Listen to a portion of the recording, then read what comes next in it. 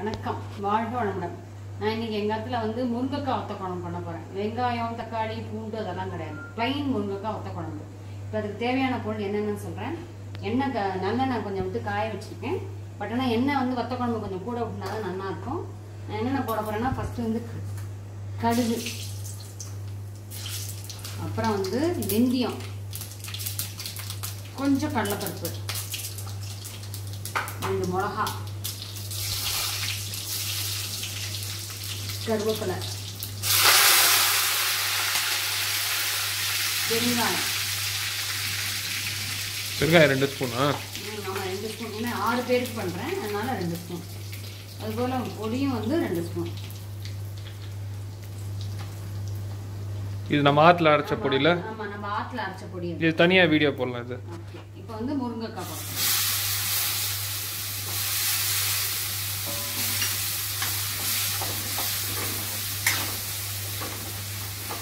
இதுலேயே மஞ்சள் கொஞ்சம் கிழங்கெல்லாம் போட்டு அரைச்சனால தனியாக மஞ்சள் பொடி தனியாக போடலை. ஸோ இப்போ வந்து இந்த இவ்வளோ புளி ஆறு பேருக்கு வந்து இவ்வளோ புளி அது தகுந்த மாதிரி உப்பு. போட்டு கரைச்சி எடுத்து வச்சிருக்கேன். இப்போ இந்த கரைச்சதை வந்து இதில் விட போகிறேன் இது புளிப்பு அதிகமாக இருந்தாலும் இவ்வளோ எடுத்துக்கீங்க. கம்மியாக இருந்தால் கொஞ்சம் அதிகமாக எடுக்கணும்ல புளி? ஆறு பேருக்கு அதனால புளி வந்து இவ்வளோ வச்சிருக்கேன். நீங்க உங்களுக்கு எவ்வளவு வேணுமோ அந்த அளவு புளி உப்பு எல்லாம் போட்டுக்கலாம். இது அப்படியே கொதிச்ச உடனே கொஞ்சோண்டு அரிசி மாவு கரைச்சி விட்டு இறக்கிட வேண்டியதுதான். இது கொஞ்சம் பத்து நிமிஷம் ஆகும். கொதிக்கட்டும் நல்லா.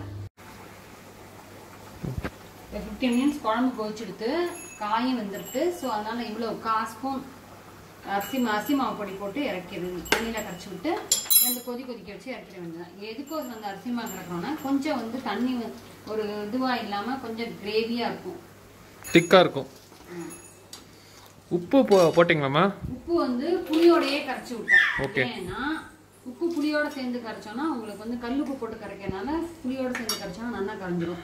ஈஸியாகவும் வருது. அந்த அந்த சேம் டைம் வந்து அக்கு ப்ரெஷர் மாதிரி ஆச்சு கது உப்புனால. ஸோ கையிலேயே கரைச்சி எடுத்து விட்டுரும் இப்போ இந்த ரெண்டு நிமிஷம் கொதிச்ச உடனே வத்த குழம்பு ரெடி இந்த வத்த குழம்பு கரெக்டாக எடுத்து பாருங்க. அந்த ஊற்றி ஊற்றி அந்த மாதிரி நமக்கு ஏற்ற மாதிரி எடுத்து நம்ம திரும்பி இன்னொரு தடவை சொல்கிறேன் என்னென்ன போட்டேன்னு? நல்லெண்ணெய் கடுகு வெந்தயம் கொஞ்சோண்டு கடலைப்பருப்பு அப்புறம் வந்து இது க- கறி லீஸு பெருங்காயம் அப்புறம் ஆற்றுல நம்ம அந்த ஆற்றுல நான் ப்ரிப்பேர் பண்ணால் சாம்பார் இந்த பொடி. இந்த பொடி மிளகா பொடி. சாம்பாருக்கு யூஸ் பண்ணுவேன் ரசத்துக்கு தான் யூஸ் பண்ணுவேன் மொத்த குழம்புக்கு தான் யூஸ் பண்ணேன் ஸோ அந்த பொடியை போட்டிருந்தேன். அதுக்கப்புறம் புளியும் உப்பும் சேர்ந்து கரைச்சி வச்சு தான் போட்டேன். காய் போட்டேன். கொதிக்க வச்சு ஒரு ஃபிஃப்டீன் மினிட்ஸ் கொதிச்சது. கொதிச்சதுக்கப்புறம் காய் வெந்ததுக்கப்புறம் என்ன செய்யணும் கொஞ்சமாக ஒரு கால் ஸ்பூன் அரிசிமா கரைச்சி விட்டோம்னா கொஞ்சம் கிரேவியாக இருக்கும். அந்த நீர்க்க இல்லாமல் கிரேவியாகவும் இருக்கும். கூட ஒரு கரண்டியும் வரும். அதுக்கோசரம் தான் இந்த மாதிரி செய்யறது. இதோட நான் முடிஞ்சது. இதோட இருக்குது கரெக்டாக நமக்கு தேவையான அளவு வாட்டர் விட்டு கொஞ்சம் கொதிக்க வச்சு இறக்கிட வேண்டியதான் மற்ற குழம்பு ரெடி வாழ்க வளமுடன்